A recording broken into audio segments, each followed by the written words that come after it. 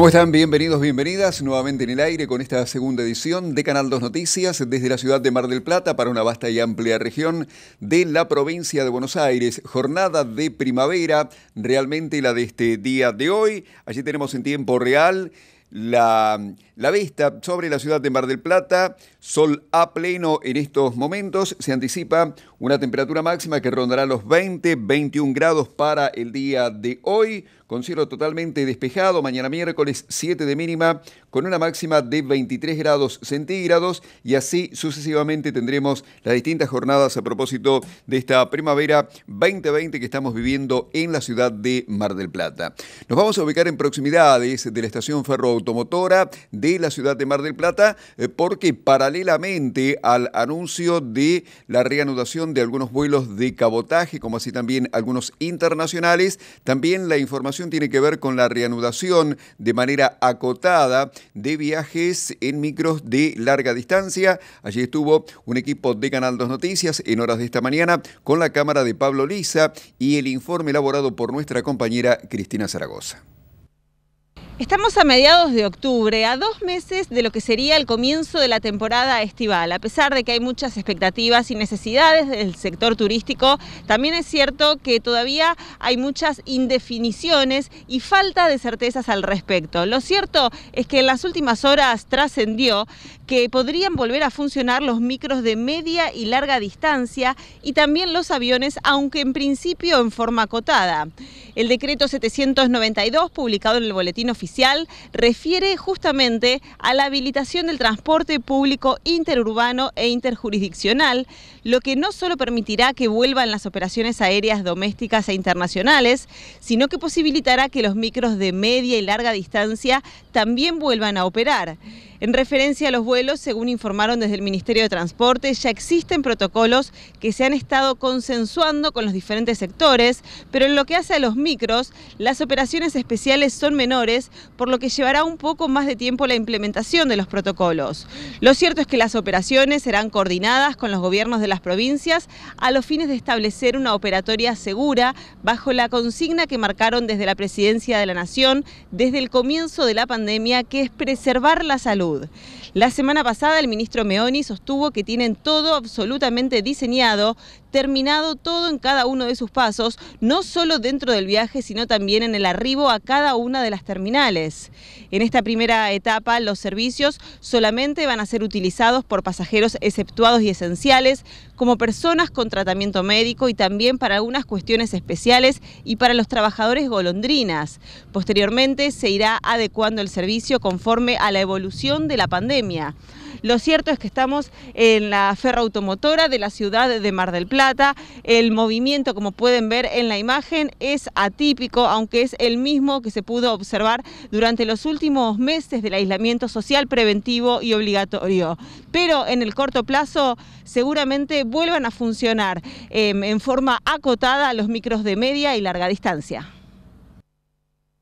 Bien, ahí estaba la información junto a la tarea de nuestra compañera Cristina Zaragoza hace instantes nada más, allí en la terminal de micros de la ciudad de Mar del Plata. Saben ustedes que en horas de la tarde del día de ayer eh, se llevó a cabo el denominado banderazo, al igual que a nivel nacional esto ocurrió aquí en la ciudad de Mar del Plata, partiendo desde la Plaza Colón y eh, reuniéndose posteriormente cerca de la hora 16 en el monumento sobre la avenida Luro y Mitre de nuestra ciudad, este sitio prácticamente obligado de cada expresión pública. Tenemos un informe elaborado por Canal 2 de Mar del Plata. El banderazo del 12 de octubre que se sintió en las principales ciudades del país tuvo su réplica en Mar del Plata a modo de protesta en disconformidad con las políticas del gobierno nacional. Una caravana de autos acompañó el reclamo desde la Plaza Colón hasta el Monumento a San Martín, punto central de la convocatoria. Los manifestantes se concentraron este lunes, feriado nacional por el Día de la Diversidad Cultural, desde las 16 horas en la esquina de Luro y Mitre con banderas argentinas, carteles y cacerolas bajo la consigna 12O Todos a la Calle, que surgió desde las redes sociales. Pese a que la marcha estaba prevista para las 17, los marplatenses comenzaron a reunirse una hora antes en el centro de la ciudad.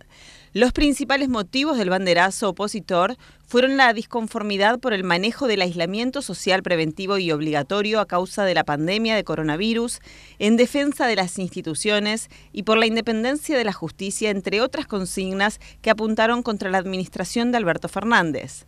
Asimismo, el presidente repudió la inclusión del domicilio de la vicepresidenta Cristina Fernández de Kirchner entre los puntos de convocatoria de la protesta opositora y afirmó que solo fomenta la grieta. Lo cierto es que una ruidosa caravana de automóviles acompañó la convocatoria recorriendo las principales calles del centro en señal de protesta contra las medidas sociales, políticas y económicas de la actual gestión. Luego se sumó a la concentración ocupando los cuatro carriles de la avenida Luro y para entre todos los manifestantes entonar las estrofas del himno nacional en el monumento a San Martín.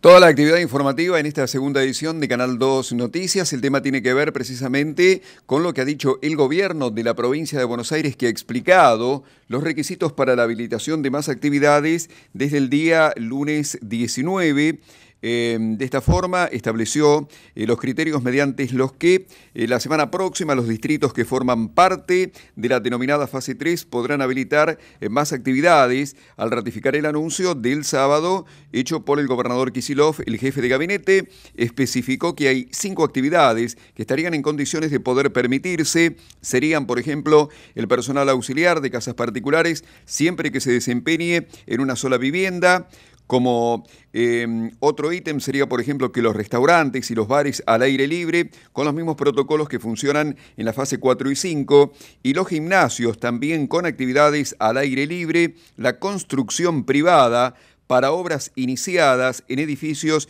y parques industriales, las salidas recreativas en grupos de hasta 10 personas al aire libre, lo que no implica eh, deportes colectivos que seguirán sin permitirse, dice hasta el momento la información respecto de lo dicho por el jefe de gabinete, eh, que estas habilitaciones serán posibles en fase 3 en el marco de un esquema gradual, paulatino e intermitente, dice la información.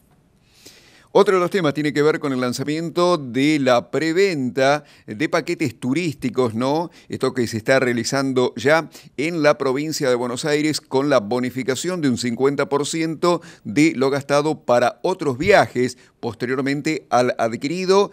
Eh, consultamos a las agencias de viaje y dieron a conocer precisamente su parecer respecto de esta cuestión. Bueno, la verdad que muy entusiasmados, estamos con, mucha esperanza de que este, este programa sirva para reactivar un poco el turismo luego de un año tan, tan difícil que venimos atravesando. Es un, es un programa muy ambicioso donde hay una gran cantidad de dinero aportado por el Estado para incentivar los viajes de turismo nacional. Son 15 mil millones de pesos que el programa prevé para, para esta primera etapa, donde eh, el, cliente va a obtener ese 50% de, de, lo que consuma, de lo que gaste en su viaje para otro nuevo viaje o para bien, para consumos dentro de ese viaje, o también en la medida que no lo termine de, de utilizar durante el viaje, lo pueda también usar en su ciudad de residencia. Así que la verdad que estamos muy esperanzados que la gente se acerque a las agencias de viaje para, consultar, sobre todo porque este programa y lo que, los beneficios que tiene de, realizarlo a través de las agencias de viaje es la facilidad de la operatoria, donde el agente de viaje le va a poder armar un paquete donde incluya muchos servicios.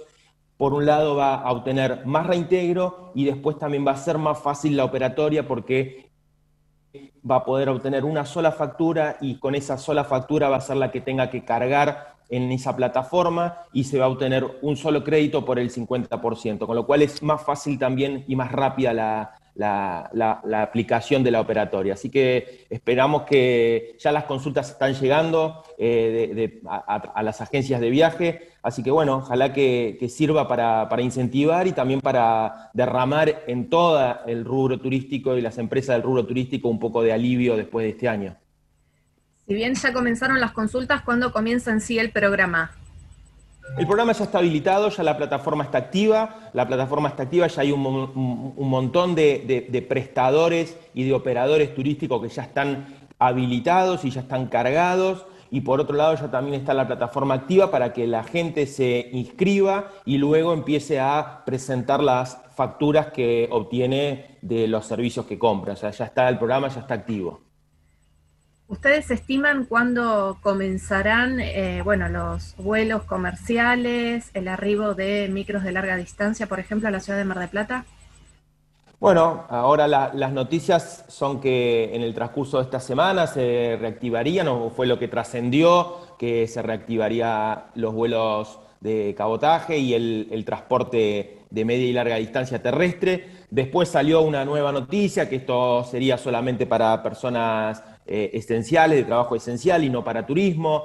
Eh, se habla de nueva fecha. Bueno, esa es la parte de la incertidumbre que todavía vivimos y que dificulta el, eh, el avance definitivo ¿no? de, de, la recuperación, porque al no tener esa previsibilidad, la gente también se retrae un poco y, piensa en esperar a, contratar sus viajes.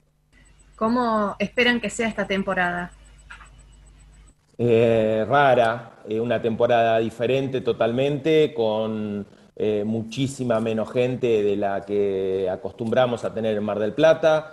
Eh, esperanzados que igualmente haya temporada y bueno, en ese sentido, em, tanto el ministro de Turismo como otras autoridades han confirmado que temporada iba a haber. Eso da un grado de esperanza, pero bueno, sabemos que eh, la, incertidumbre que se va llegando deja un margen de duda y, bueno, sabemos que va a ser una temporada totalmente distinta, con muchísimos protocolos, con muchísimos cuidados, con algunas restricciones, sobre todo en lo que son espacios cerrados, en, eh, lugares donde haya mucha acumulación de gente, va a ser diferente, pero deseosos de que igualmente haya una temporada de Mar del Plata porque les, es, indudable el beneficio que, que trae a la ciudad y a todas las empresas, a los trabajadores, a todos, que, el, turismo, que el turismo pueda volver a trabajar.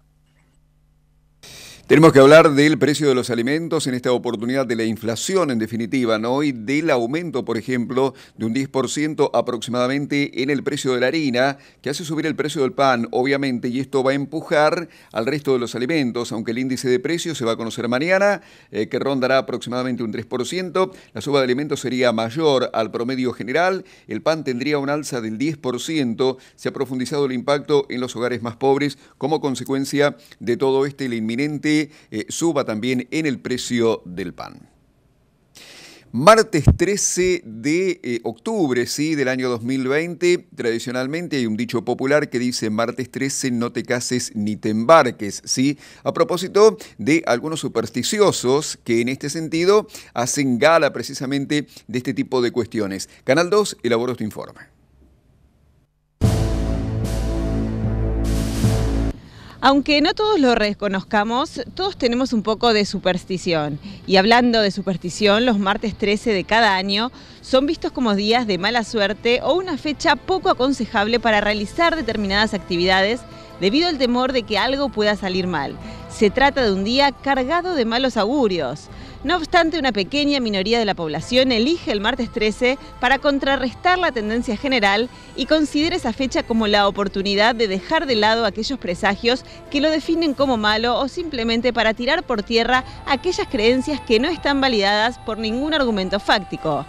Sin embargo, a la hora de tomar una decisión importante, el martes 13 es una fecha esquiva, como un mecanismo de defensa y si algo sale mal, no tener la responsabilidad por haber seleccionado ese día del año. Hoy, martes 13, en la ciudad de Mar del Plata, una jornada con sol y además les contamos que dentro de la astrología el número 13 está vinculado a la muerte según las cartas del tarot e indica el momento posterior a la disolución y al vacío que responde a la disociación entre cuerpo y alma.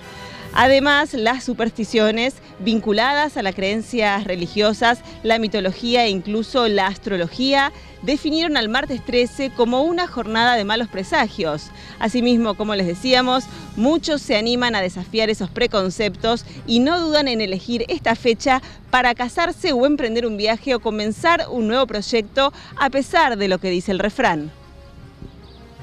Bien, martes 13, entonces, día de suerte que puede ser en definitiva, así como bien lo, decía el informe de nuestra compañera Cristina allí en el sector de este almanaque eh, gigante que está en la zona de la Plaza General San Martín de nuestra ciudad. Antes de la pausa les comento una información, es eh, del ámbito judicial y tiene que ver con la condena en esta oportunidad a un joven que apuñaló oportunamente a un adolescente durante una fiesta de tipo clandestina. El ataque ocurrió en octubre del año 2018, en el barrio Sacagnini, Jonathan Bousada estuvo dos meses prófugo. La pena de cuatro años de prisión se resolvió en un juicio abreviado. Esto se está conociendo por estos momentos. Momento de la primera pausa en esta segunda edición de Canal 2 Noticias. Sigan junto a nosotros, ya estamos con más.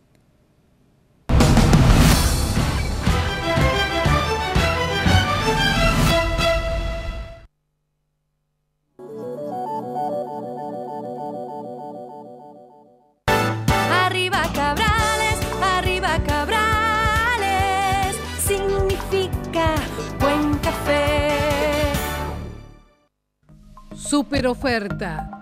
Queso cremoso, 260 pesos por kilo.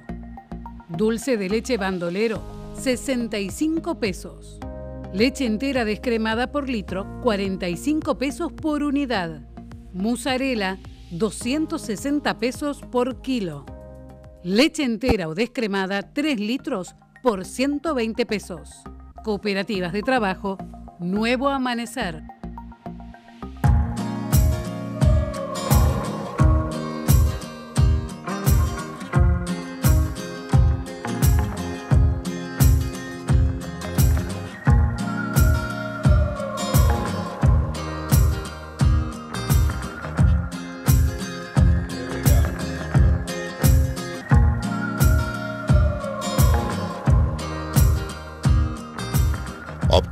Osadía.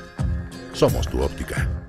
Si la ropa se te rompe y no sabes dónde comprar, Delantales Mar del Plata te lo va a solucionar. Camisas, pantalones, botas, chaqueta, guardapolvos y uniformes. Desde 1980, acompañando a las industrias alimenticias del país. Fábrica y venta Ciudad de Dolores, 1541, continuación de España, 482-6513.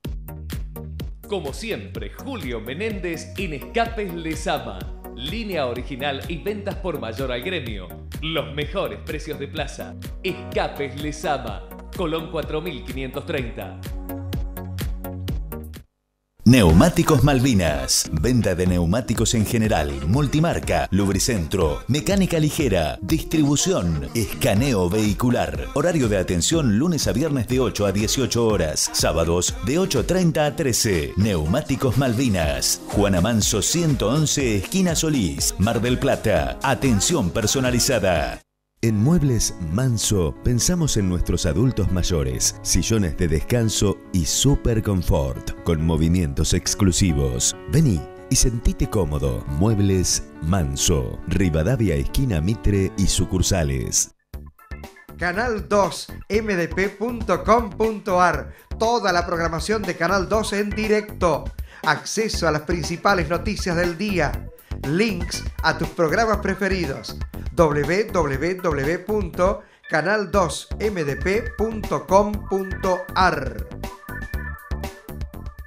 Librería Casa Conforti. Amplia variedad en artículos para oficina, papelería, regalería, artística, aerografía y mucho más. Seguinos en nuestras redes y comunicate al 495-0898. WhatsApp 223-598-9563. Visítanos en nuestra tradicional esquina de Rivadavia y San Luis y recibí la mejor atención.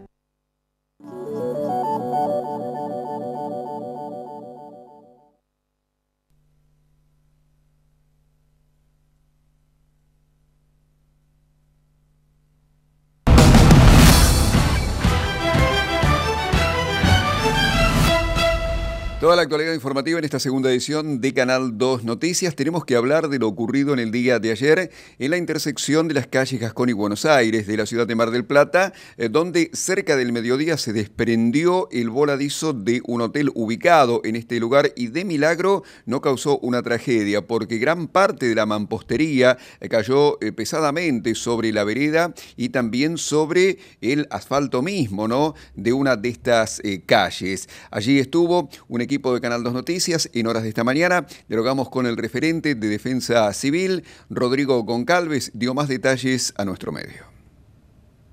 En mampostería, un voladizo de un hotel ubicado en la calle Buenos Aires y Gascón, de un porte considerable, este, cayó al vacío, en su pasar arrastró parte de la marquesina de un hotel que por suerte está cerrado.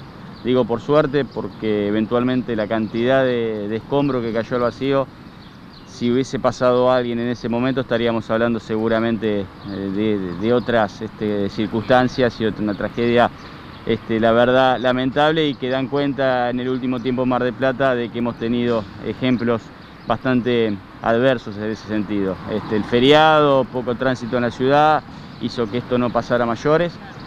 No hay que tampoco quitarle importancia, ¿eh? la Secretaría de Planeamiento está trabajando, he estado hace pocos minutos reunido con uno de los inspectores que se hizo presente el día de ayer, que intimó a las partes este, para saber un poco qué fue lo que pasó y cuáles son las circunstancias este, que motivaron esta caída.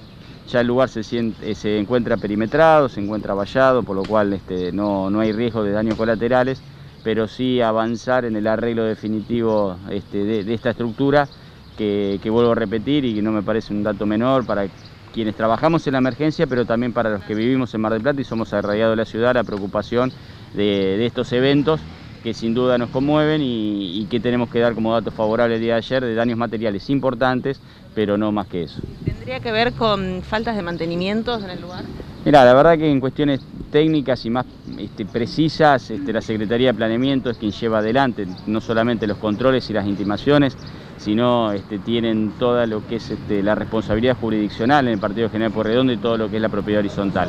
Eh, pero, pero esta estructura bueno, no daba cuenta, la verdad, a simple vista, que pudiera tener algún tipo de, de, fisuras o que podía dar este, cuenta de, que esto podría desprenderse como lo hizo, pero me voy a abstener de dar mayores precisiones, pero sí la Secretaría seguramente en el pasar de las horas este, y en contacto que ya está con los profesionales va a tener respuestas un poquito más adecuadas este, para poder transmitirle porque merecen ser transmitidas este, dado lo, que fue eventualmente esta caída, que no pasó mayores, vuelvo a repetir, por el solo hecho de que nadie pasaba transitando por la calle Buenos Aires, casi Gascona, en esa hora y al momento del desprendimiento. Como bien decís, uno agradece que no había personas transitando en el lugar y uno no puede dejar de recordar lo que ocurrió meses atrás en la zona de Colonia Arenales. Sí, Colonia Arenales, tenemos también este, la, fatídica tragedia en aquel verano en, Punta Mogotes. La verdad que, mm, debo decir que la Secretaría y, estas denuncias este, toman este, notoriedad cuando, cuando pasan hechos tan relevantes, pero la verdad que tenemos un trabajo bastante importante, fluido, en intimaciones, en prevención, eh, eh, en movilización para intimar a, los propietarios. Hay mucha gente responsable, pero Mar del Plata es una ciudad que ha crecido exponencialmente, que tiene muchos edificios y bueno, que esto llame a la reflexión también, que no solamente que esperen los propietarios a ser intimados por la municipalidad o que un inspector se, se acerque, sino la responsabilidad natural exactamente de cada uno en la propiedad horizontal, pero también en nuestro propio domicilio, porque hay estructuras domiciliarias que también revisten algún tipo de riesgo o que pueden traer aparejado alguna gravedad. Así que llamar a la conciencia de, todos para poder replantearnos y, tomar acciones preventivas que después no terminen en cuestiones dolorosas como las que estamos mencionando. Vamos con otro de los temas que tiene que ver con el comienzo de un relevamiento ¿sí? respecto del acceso de las familias a la cuestión alimentaria en el marco de esta pandemia, con una encuesta realizada a 450 familias. Sí, estamos presentando un trabajo que vamos a desarrollar durante seis meses que tiene que ver con la construcción del indicador familiar de acceso a la alimentación. La idea es poder trabajar nacionalmente en el marco de las políticas implementadas del Observatorio de Lucha contra el Hambre que impulsó el Gobierno Nacional.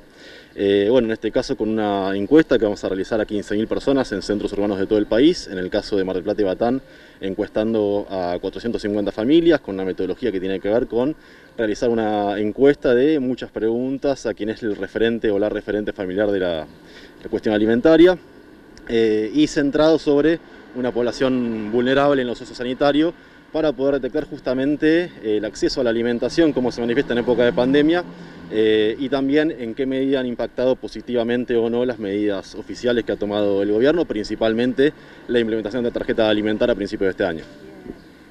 En cuanto a lo que es la, tarjeta alimentar, ¿ustedes creen que ha ayudado mucho a las familias? Bueno, parte del objetivo del estudio es poder determinar esto no en, lo concreto. Entendemos que, bueno, efectivamente sí eh, incorpora un adicional ¿no? en el monto que las familias pueden destinar a los alimentos. Eh, hay una realidad también que tiene que ver, y lo venimos manifestando desde el ISEPSI con, con, el índice barril de precios, con un aumento constante de los precios de los alimentos, con lo cual muchas veces esas incorporaciones de nuevos ingresos a las familias se ven este, luego problematizados porque también aumentan y evolucionan constantemente los precios de los alimentos, pero la idea es poder justamente relevar eh, qué calidad, tipo y cantidad de alimentos les ha permitido a estas familias que perciben la tarjeta de alimentar incorporar a la dieta familiar y cómo eso contrasta con aquellas familias que no perciben la tarjeta de alimentar por no tener integrantes de la familia menores de 6 años. La idea es que esta encuesta releve a una mitad de familias que perciben tarjeta alimentaria y la otra mitad que no lo hacen para poder justamente contrastar estos resultados y cómo en un sector de esa población impacta de manera positiva y, cómo no, no, lo hacen aquellos que no la perciben. ¿Se va a desarrollar también en lo que son los comedores barriales?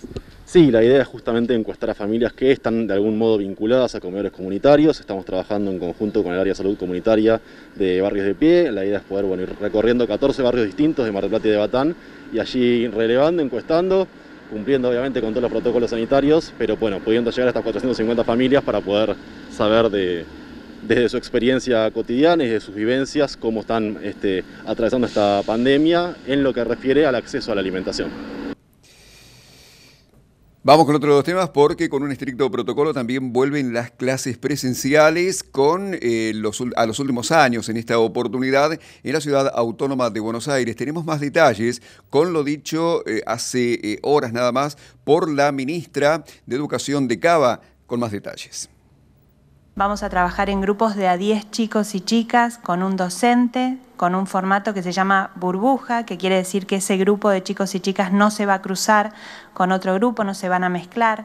Y esto nos va a permitir que en caso de detectarse algún chico o algún docente que tenga síntomas o que tenga COVID positivo, se aísla ese grupo y no se tiene que aislar toda la escuela. Nosotros estamos previendo que el calendario escolar de este año finalice en la época que está en la misma fecha que estaba prevista.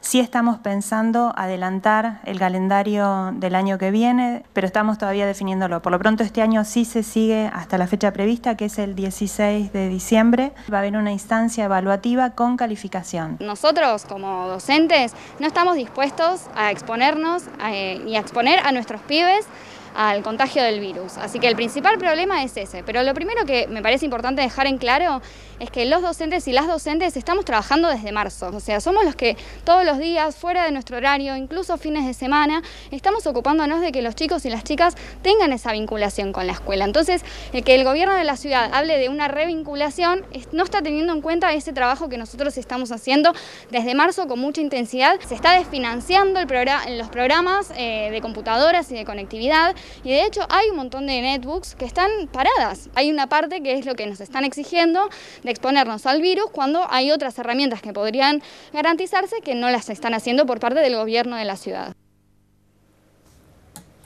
Bien, antes de la pausa les recuerdo eh, lo que tiene que ver precisamente con un proyecto que corresponde a la agrupación Acción Marplatense que tiene que ver concretamente con que piden fortalecer la Oficina Municipal del Empleo. Es un proyecto de ordenanza que estipula una serie de acciones con el objetivo de contribuir a dinamizar el mercado de trabajo aquí en la ciudad de Mar del Plata.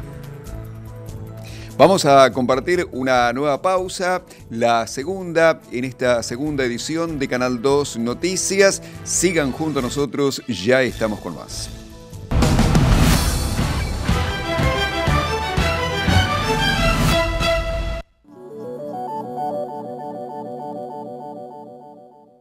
Con Idea WhatsApp podés consultar tu deuda, pagar facturas y hacer reclamos. Cada vez más fácil WhatsAppea con idea. Agendalo 2236 34 32. Paseo Aldrey Shopping. Te esperamos lunes a sábados de 10 a 19 horas. Domingos cerrado. AgriGlobal, una empresa del grupo Acai, líder en la fabricación de productos granulados para el control de babosas y bichos bolita. Asegure la emergencia de sus cultivos. Protección superior desde el inicio con los cebos AgriGlobal.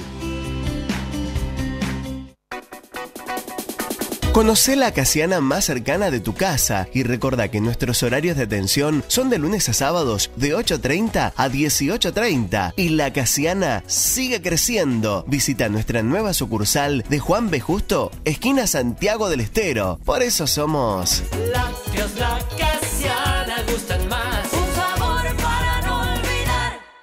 Tec MDQ Tecnología en Electrónica. Componentes, repuestos y accesorios para audio, TV, video y computación. Telefonía y comunicaciones. Sistemas electrónicos de seguridad. Atención especializada al gremio, profesional y estudiantes. Tec MDQ Tecnología en Electrónica. Rivadavia 4128. Teléfono 476 3006. Atención, Taxicop, nuevo número 473-8000. Seguridad 473-8000. Celeridad 473-8000. Responsabilidad 473-8000. Taxicop 473-8000. Hermitage Hotel, frente al mar, confortables habitaciones y suites para sus viajes de negocios o placer. Salones para reuniones sociales o empresariales. Spa, sauna y helipuerto. Hermitage Hotel, el hotel 5 estrellas más importante de Mar del Plata. En Multienvases tenemos una amplia variedad en telas, artículos para el agro, embalajes, librería, descartables, productos de limpieza, bolsas y mucho más. Visítanos en Champagnat 1718 o en www.multienvasesonline.com.ar. Hacemos envíos a domicilio. Multienvases. Vos también podés ser nuestro cronista. Envíanos fotos o videos de un hecho periodístico a nuestro WhatsApp 223-680-1898. Sumate a nuestro grupo periodístico 223-680-1898. El WhatsApp de la gente de Canal 2.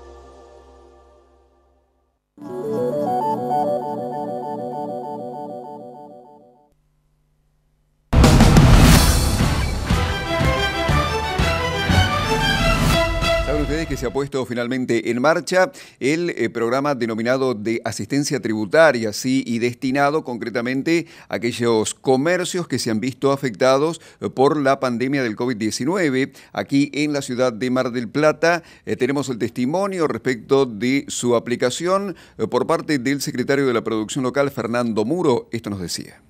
Exactamente, ya está en funcionamiento, ya se pueden aplicar las empresas afectadas para, por, la pandemia, digamos, por la cuarentena, especificadas en la ordenanza, ya pueden, eh, tienen el instructivo y pueden aplicar al beneficio específico que consiste en reducciones impositivas muy importantes en las tasas municipales, así que eso ya pueden, pueden empezar a ingresar. Aquellos que ya pagaron anticipadamente el año pueden pedir el reintegro y aquellos que no lo hayan hecho ya acceden directamente al beneficio. Se realiza con clave fiscal, eh, específicamente es un trámite que se hace vía web, no es necesario ir, eh, acudir al municipio, con lo cual es muy simple, así que bueno, ya está, ya está disponible. ¿Cómo ha sido la recepción de los sectores alcanzados? ¿Han podido dialogar con ellos?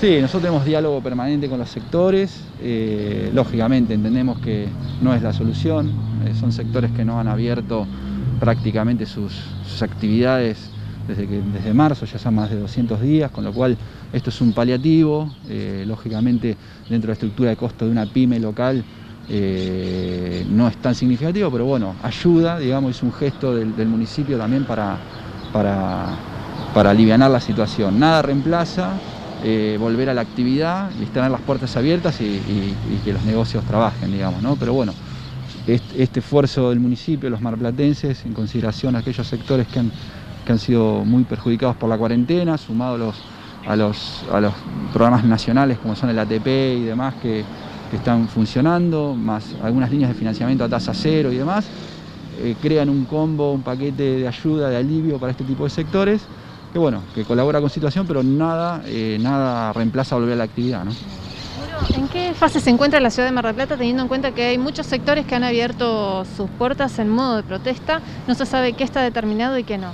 Bueno, eh, anoche salió el decreto nacional que confirma a Mar del Plata en, en aislamiento eh, social preventivo y obligatorio en ASPO, con lo cual para la nación sigue estando en la misma situación que estaba ahora, seguimos igual que, que estamos. Lógicamente hay falta la, la, reglamentación de la provincia que se espera para el día de hoy específico. Eh, lógicamente hay sectores que no estaban habilitados y están trabajando en forma de protesta. Eh, abrieron sus puertas trabajando con, los protocolos, pero en forma de protesta los trabajadores quieren volver al trabajo. En el sentido, bueno, la actividad ha ido recuperándose, pero bueno, bajo un formato de protesta. Y más adelante de la nota, el propio Muro habló en esta oportunidad de la presentación de un proyecto para la creación, en esta oportunidad de un distrito tecnológico, esto en la zona de la terminal ferroautomotora. Tenemos más detalles. Nosotros presentamos ya, el otro día el secretario de Obras, junto con el intendente, presentaron un, un proyecto ambicioso de, potenciación y de reactivación de la industria de la construcción en Mar del Plata, con muchísimos beneficios impositivos y administrativos. Y en el marco de ese proyecto y en el marco de otro proyecto que tenemos, que es el Ciudad del Conocimiento, se presenta un distrito tecnológico, un distrito tecnológico y de economías del conocimiento. ¿Qué es un distrito? Es una zonificación específica en la ciudad donde se dan beneficios desde el punto de vista impositivo, desde el punto de vista de la construcción, para que se radiquen empresas de software, de base tecnológica, empresas de diseño, de, pro, de, producción audiovisual, en ese sentido. Entonces, de esta forma nosotros eh, combinamos las dos industrias, lo que es la construcción y combinamos lo que es economía del conocimiento, para favorecer a que más empresas se radiquen y generar más empleo marplatense. Estas empresas eh, son más de 80 en la ciudad y hay muchísimo potencial en la ciudad como para para seguir creciendo, porque hay cinco universidades, hay muchísimas características de Mar del Plata que hacen que, sea muy positivo la radicación de este tipo de empresas, con lo cual nosotros, a, las empresas que se radiquen en ese distrito, le vamos a quitar los impuestos, le vamos a dar todas las facilidades necesarias para que se puedan radicar ahí, y bueno, adhiriendo también a la Ley Nacional de, de Economía y Conocimiento que se sancionó la semana pasada, bueno, en ese sentido este, estamos, queremos posicionar a Mar del Plata como una ciudad de economía y conocimiento, queremos competir contra, de igual igual contra Buenos Aires, contra Córdoba, contra Mendoza, contra otros centros urbanos de la, del país. Así que en ese sentido el objetivo de ese proyecto está. Estamos mandando un proyecto de ordenanza de ley de economía y conocimiento en los próximos días al Consejo, donde está todo el programa completo con los tres ejes y, y el distrito es una parte de ese proyecto. ¿En qué zona estaría comprendido? En la zona de la estación ferroautomotora, delimitado por las calles Guido, San Martín, Chile y 3 de febrero. Esa es la zonificación específica, ahí se van a cambiar los indicadores, se van a proporcionar beneficios impositivos a las empresas de, esos sectores que se radiquen en ese lugar. Y bueno, es una zona que está bastante deteriorada, eh, urbanísticamente hablando, con lo cual esto va a potenciar la mejora de la zona, mejor calidad para los vecinos también, eh, mayor obra, mayor infraestructura, mayor inversión y más trabajo.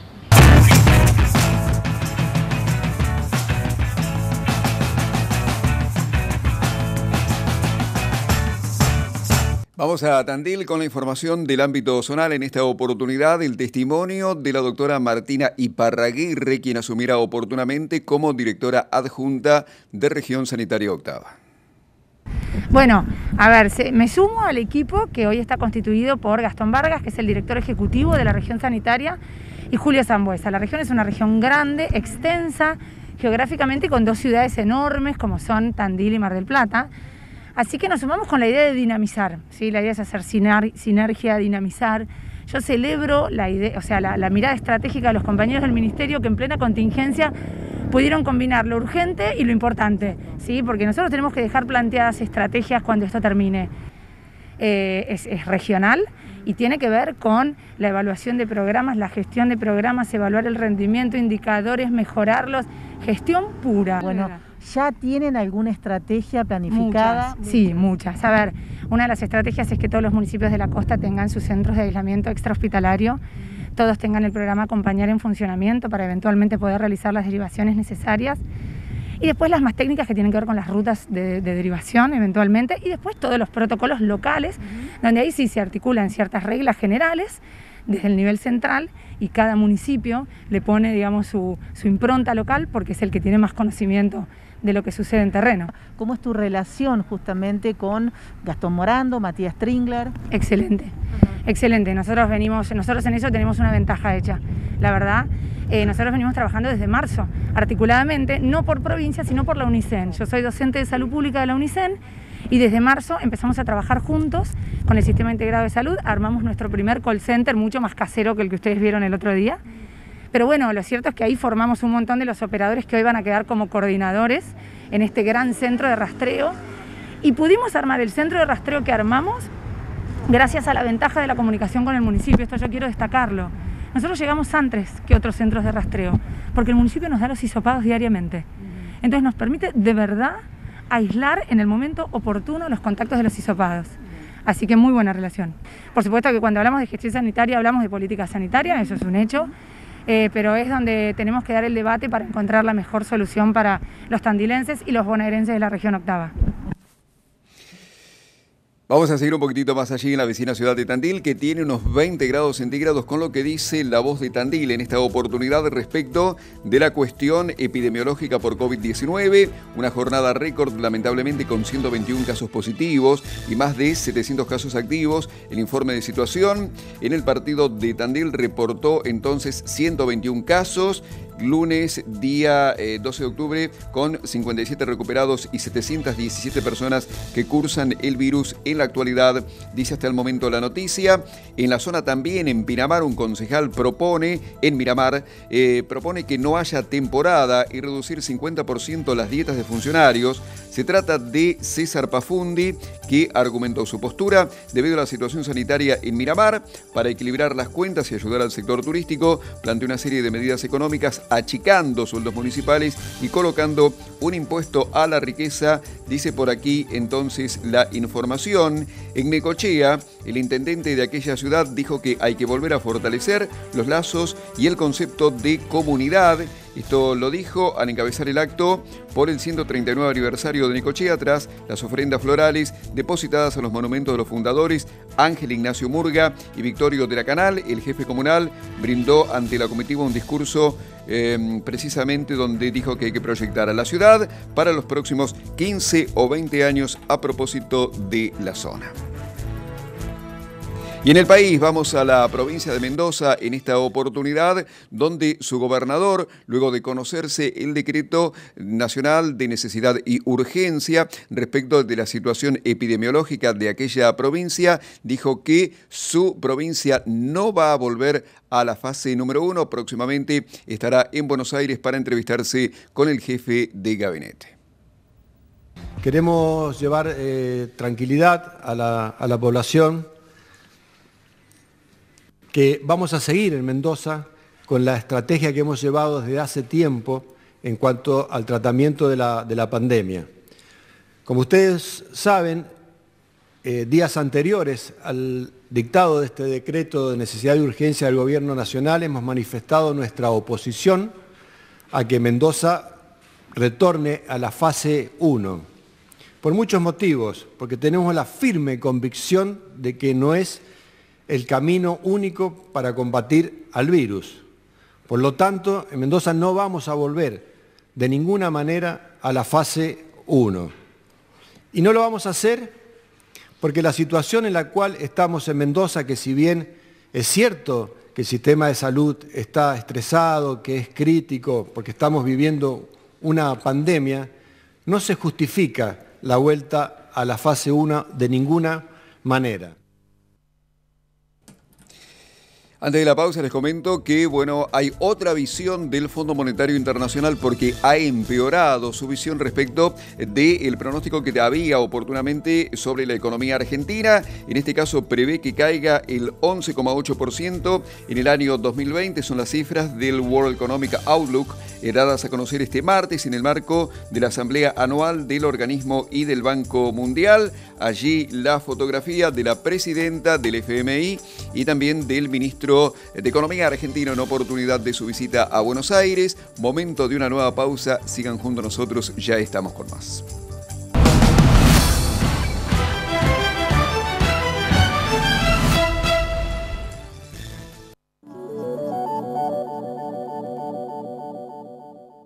Macagnani, agua de mesa envasada, atravesando los más altos controles de seguridad y sistema de filtrado. Práctico dispenser de agua con bidones de 12 y 20 litros. Hacé tu pedido al 223-579-1105. Tomando aguas Macagnani, ayudas a tu cuerpo a tener una vida más saludable. Seguinos en nuestras redes.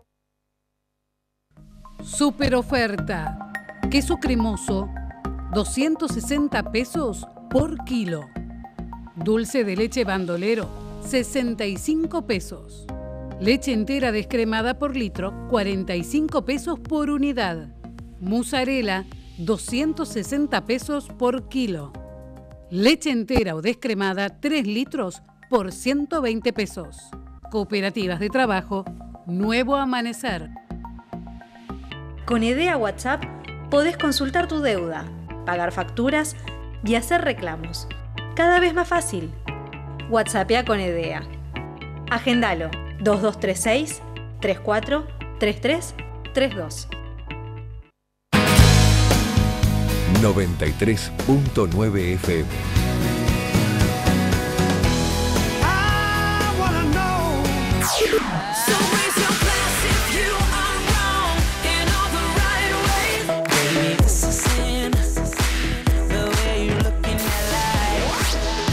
.9 FM Villa Gesell, Argentina.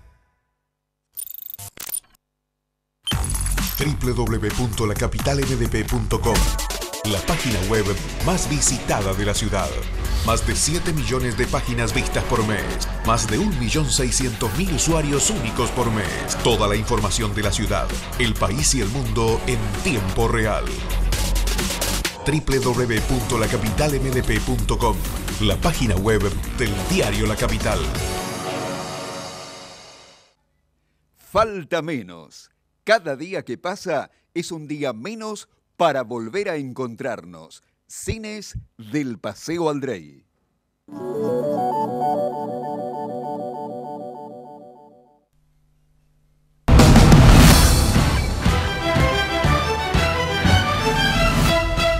Más actualidad informativa en esta segunda edición de Noticias. Vamos a ver qué ha hecho en la Chocobanda. Ha lanzado eh, en esta oportunidad un nuevo tema donde, eh, bueno, allí eh, trata de establecer todo el trabajo que han venido realizando en conjunto durante la pandemia. Y además, Marcela grabó un mensaje muy esperanzador. Escuchemos.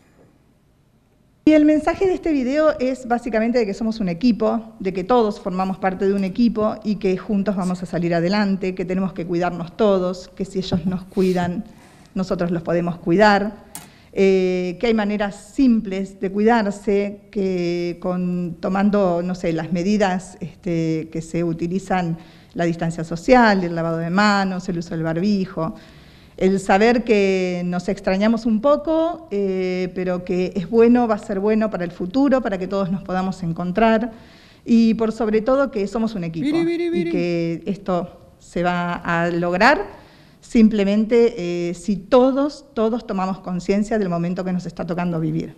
Es un fuerte el trabajo que, que están realizando aquí desde, desde la clínica, de los distintos hospitales, sanatorios.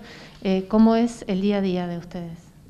Bueno, nosotros somos un equipo, acá también, en, la clínica, en los hospitales, en todos lados somos un equipo, un equipo eh, que trabaja unido, mucamas, camilleros, enfermeros, médicos, eh, con el objetivo de, que alguien se, se cure, pase este proceso tan difícil y vuelva a su casa, rodeado de sus amores, de su gente querida porque, mm, bueno, pasa, eso pasa, pasa mucho. Muchos pacientes se van a su casa y creo que es la parte de la historia que a veces no resuena tanto y tiene que ver con los logros de los pacientes, porque el paciente que se interna con un, cuadro COVID es un paciente que trabaja mucho en su recuperación, no solo eso, sino también eh, atraviesa por un momento crítico la soledad, eh, y, realmente eh, hace mucho esfuerzo por, mejorarse porque tiene que superar muchas barreras, no solo físicas, sino también anímicas. Y entonces, bueno, este, es un paciente, un paciente especial, un paciente que realmente este, no la pasa bien, trabaja mucho y, y el equipo de salud y sus compañeros de habitación nos transformamos en su familia, porque hay personas que están hasta un mes sin ver a su familia. porque la familia los trajo a la clínica o vinieron en una ambulancia, se internaron y no se volvieron a ver más hasta el alta. Y, bueno, y pasan así como, como pasan cosas que son tristes, también pasan cosas hermosas y un poco era el mensaje que nosotros queríamos llevarle a los chicos, ¿no? Que también hay otras cosas que pasan, que son buenas, que hay personas que se conocen y que comparten su experiencia, eh, su experiencia de enfermedad, eh, que, disfrutan los logros unos del otro, que comparten la soledad, eh, que se generan lazos con gente totalmente desconocida. Nosotros, el equipo de salud, somos desconocidos, pero nos transformamos en sus familias los 14, 21, 28, 30 días que están internados en la clínica. Y bueno, y después llega el momento de la despedida, ¿no? El momento que los despedimos con un aplauso porque es un paciente que, que realmente se merece. Eh, ese aplauso significa muchas cosas, significa eh, el reconocimiento al paciente que, que, ha pasado por esta etapa tan dura y tan difícil en esta crisis de enfermedad, el aplauso de las personas que están dentro de las habitaciones que aplauden al que se va, que ni siquiera conocen, pero lo aplauden porque para ellos también es luz de esperanza, y el aplauso que da el equipo de salud, que siempre decimos lo mismo, alguien más que vuelve a su casa. Eso es un momento muy, muy hermoso. ¿Quién cuida a los que cuidan? Eh, ¿Quién cuida a los que cuidan? Bueno, fundamentalmente nuestras familias. Yo creo que, que nuestras familias son las personas que nos brindan apoyo, que, que están con nosotros, que nos comprenden, que nos entienden. Esos días que llegamos a casa súper cansados, agotados. Eh, fundamentalmente nuestros amores, nuestra familia. Y después entre nosotros, nosotros nos cuidamos mucho unos a nosotros y nos contenemos muchos unos a, los otros, porque muchas situaciones que vivimos acá solamente nosotros las entendemos. Eh, solo nosotros sabemos qué es lo que vivimos en nuestras 8, 10, 12 horas de trabajo. Vamos con otros temas, hay más precisiones respecto de lo dicho hace momentos nada más por Carlos Bianco, jefe de gabinete de la provincia de Buenos Aires, sobre la cuestión de la temporada. No vamos a poder permitir boliches y teatros, esto lo dijo eh, Bianco, eh, eh, precisamente de cara a la temporada de verano, va a ser muy difícil poder habilitarlos, sobre todo en un contexto de contagio alto, como está sucediendo hoy en muchos de los distritos vacacionales. Esto lo afirmó el funcionario en el día de hoy, los dueños de este tipo de espacios tendrán que ver cómo adaptar estos lugares eh, más seguros para la población a otros más seguros para la población para poder eh, tener algún tipo de actividad y los ingresos que obviamente todo el mundo necesita, sobre todo en un contexto tan complejo como lo es el que estamos viviendo. Allí están las declaraciones entonces de Bianco con este título de la capital sobre la temporada. No vamos a poder permitir boliches y teatros respecto de la próxima temporada. El tema tiene que ver con distintos consejos y la prevención en esta oportunidad sobre el cáncer de mama y la realización precisamente de eh, un diagnóstico precoz para evitar cualquier tipo de ulterioridades. Tenemos más detalles. El cáncer de mama es el cáncer más común en la mujer. En Argentina más o menos tenemos 19.000 casos por año aproximadamente. Por eso es tan importante el diagnóstico precoz porque si nosotros encontramos el cáncer de mama cuando mide un centímetro menos, las chances de curaciones son altísimas. Por eso es tan importante que las mujeres se controlen, que a pesar de toda la pandemia que estamos viviendo con el COVID, sigan con sus controles.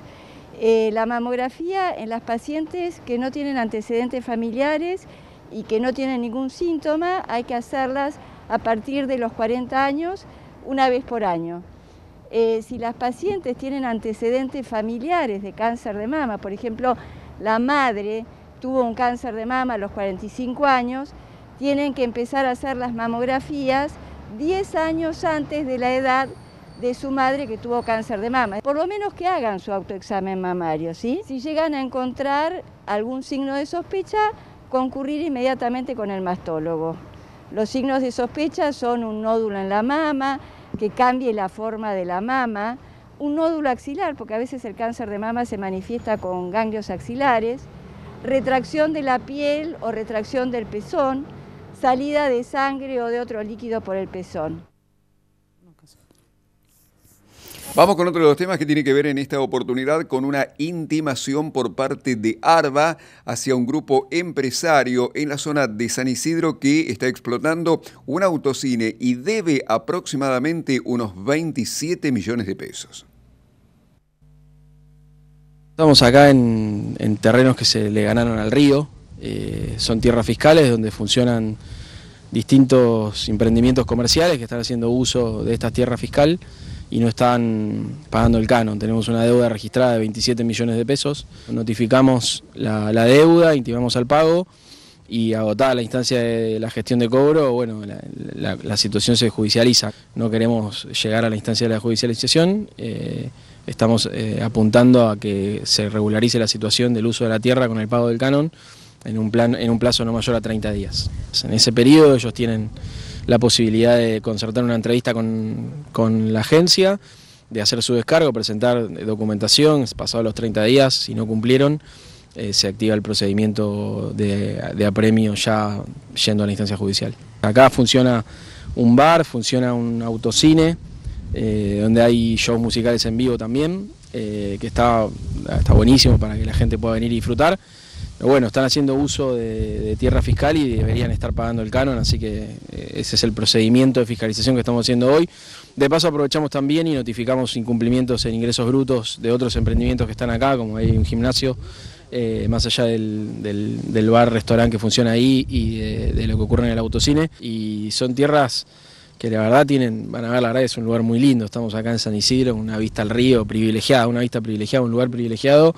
Eh, está bien que sea un uso comercial, una explotación comercial, este, me parece que, es algo que, es positivo tanto para el municipio como para la provincia, pero bueno, son tierras fiscales y si están haciendo uso de la tierra fiscal tienen que pagar el canon correspondiente, como de la misma manera que deberían pagar un alquiler si estuvieran haciéndolo en, en un- en una tierra privada. Así que eso es simplemente, esto es de todos los bonaerenses y las bonaerenses, por lo tanto el usufructo de la tierra debería retribuir a la provincia para que con esos fondos la provincia pueda financiar sus intervenciones, sus gastos, su devolución a Punto final para esta segunda edición de Noticias con el pronóstico del tiempo para el resto de esta jornada de día martes 13 de octubre del año eh, 2020. De acuerdo a la información suministrada, como siempre, desde el Servicio Meteorológico Nacional, se anticipa para el día de hoy una máxima de 20 grados con cielo despejado, vientos leves de dirección variable, a moderados del sector norte, que ocurrirá mañana miércoles 14,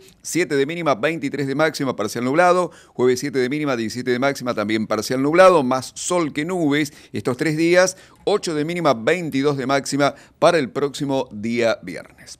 Punto final, gracias por habernos acompañado. Nos vamos invitándolos como siempre a las distintas ediciones de Canal 2 Noticias, 8 de la mañana, 11.30, 15, 19 y 23 horas y como siempre también a través de www.canal2mdp.com.ar para seguir la transmisión de todo Canal 2 online en esta oportunidad, también ver los contenidos periodísticos del canal. Gracias muy amables, será en nombre de todos hasta cualquier momento, si Dios así lo permite. Hasta entonces.